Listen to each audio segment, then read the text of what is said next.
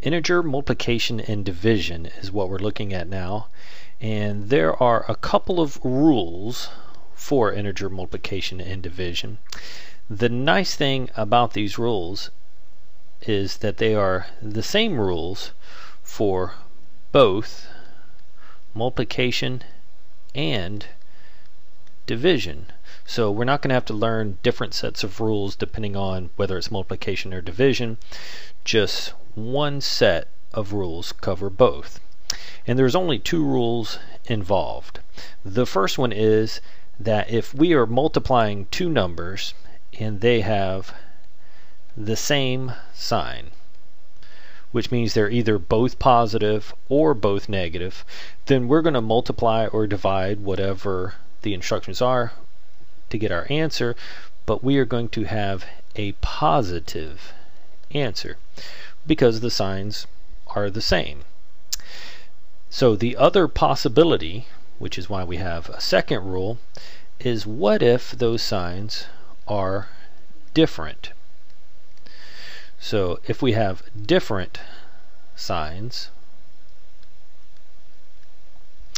then we're going to have a negative answer. So when the signs are the same, positive answer. When the signs are different, we're going to have a negative answer. So, for example, if I were to take a positive 2 and multiply that with a negative 4, those signs are different. So when I multiply different uh, signs, I know that my answer is going to be negative. And since this is a multiplication of 2 and 4, our answer would be a negative 8. So signs are different, our answer is negative. Sometimes the signs may be the same, and again, these are the same rules for division. So what if I had a negative 15 divided by a negative 3. Well, negative 15 divided by negative 3, the signs are both negative, which means they're the same.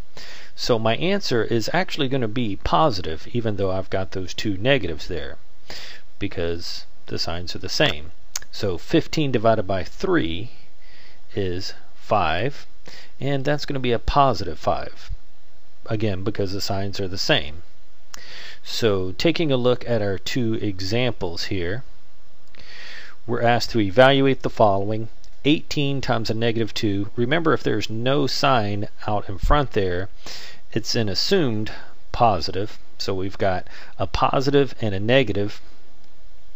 Those are different signs.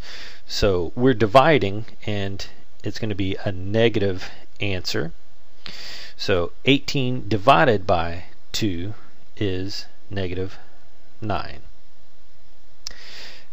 In the bottom question here, we're multiplying this time, and we have both negatives, which means the signs are the same.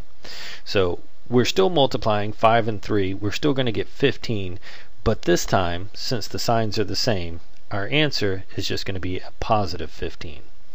Signs are different, we got a negative, signs were the same in the second one, our answer was positive, and that's all we have.